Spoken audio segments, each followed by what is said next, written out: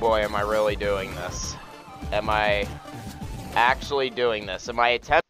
You know, this is very much going to be an off-the-cuff heated video. This is very much going to be a rage-filled angst time. So if nobody wants to be here for that, I recommend you click off this right away. Because this isn't going to be the average Johnny Vanduke shitposting. We're not going to be exposing some big company today. We're not going to be going after a scam. This isn't going to be a short where I'm shitposting on some random social media celebrity. So if you're here for all that, you're going to have to click off right now. Otherwise, if you've read the title of today's video and still want to be in for this, then please, by all means, join me as we shitpost on perhaps the biggest entity we ever taken a shit on, and that would be the Selective Service. Now, I would have loved to start my political series by going after the ATF. That would have been fun. But instead of the ATF, I feel like Selective Service is going to be a worthy target. Now, a lot of you people are probably asking, well, what is Selective Service? Selective Service here in the United States is basically our replacement for the draft. A long, well, not a long time ago, the 70s wasn't that long ago. But a while ago, the United States had this thing called the draft, or essentially, if any war or conflict were to show up that were immediate threat to our nation, Congress and the boys upstairs, so to speak, could pull out the draft, and every man over, I believe it was 19 till the age of 31, had to basically do it. I'm probably wrong on the last number, but I do believe you had to be somewhere between 18 and 20 and for this to work. We're going to be pulling all that up in a minute because I want to be comparing the draft to selective service later on. Or maybe I won't do that. Maybe I'll just bitch and complain because this is very much an off-the-cuff video. And who knows if I'll even remember to do that. But why am I going off on them now if this is meant to be the replacement of the draft? And why after so many years if this basically came in right after the draft was abolished way back in the day?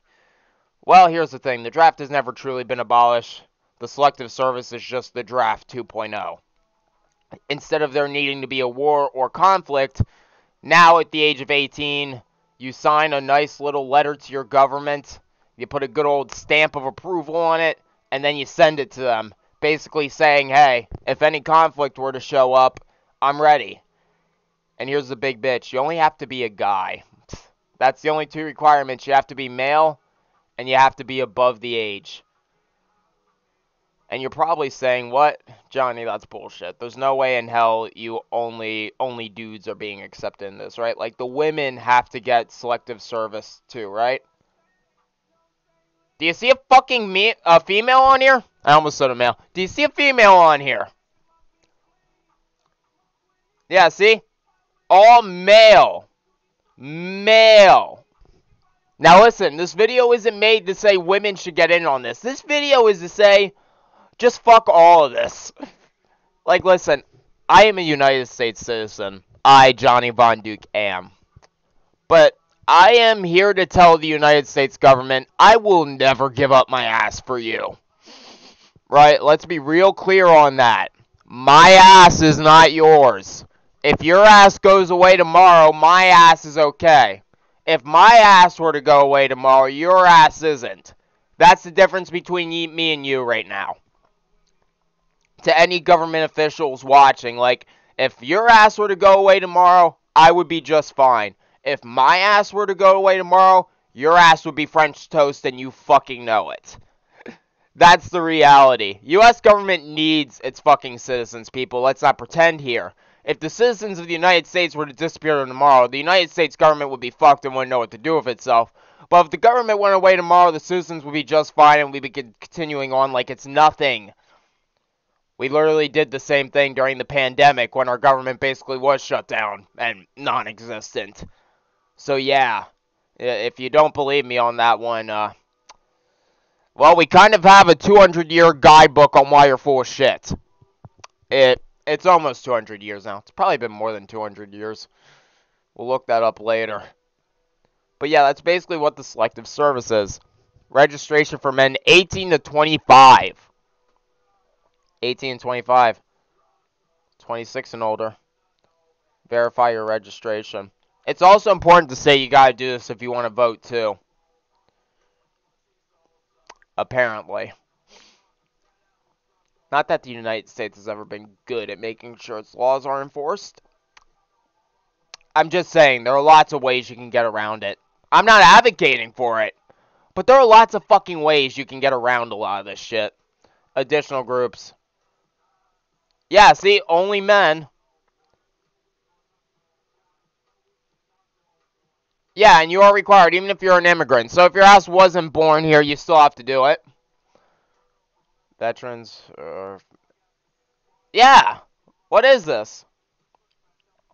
Please tell me, what is this bullshit? Why are women only ones allowed out of this? And why are parents sending their children off to fucking die? Why are the parents obligated to do this for you? You know, if you care so much about us, why aren't you coming to my front door right now and talking to me about why it's important? I know you have enough agents to do it. I, I can literally look up your numbers right now of how many people are employed by the U.S. government. I, I know you have enough agents.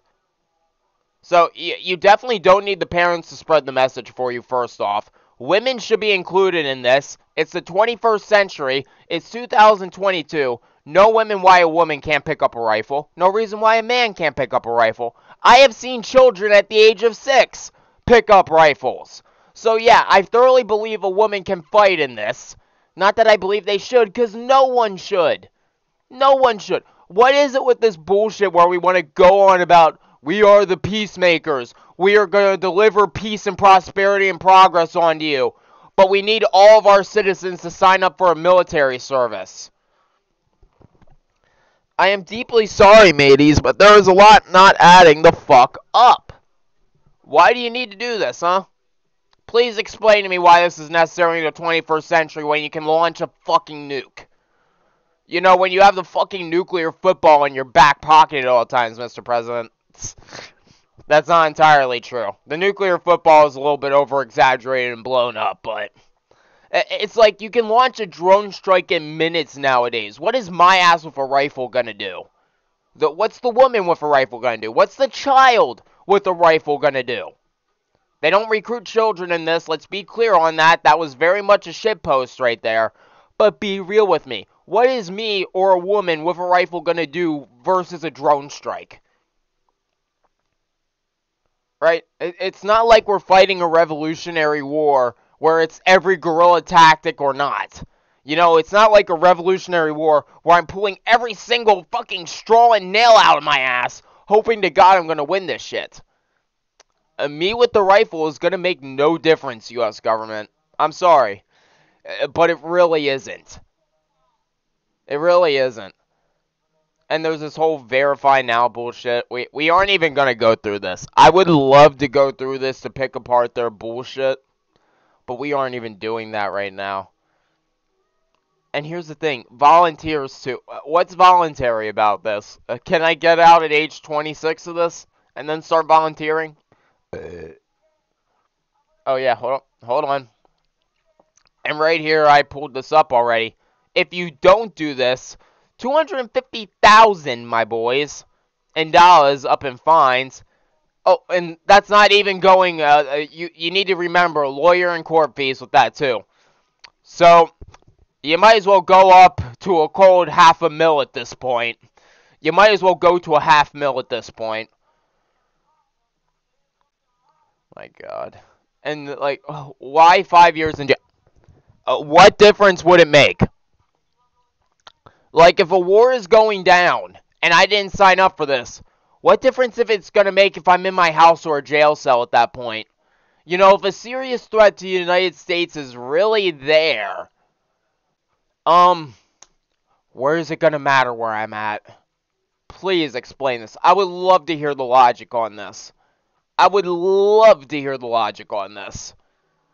Man, we've definitely blown up. We're shitposting on the U.S. government. My God.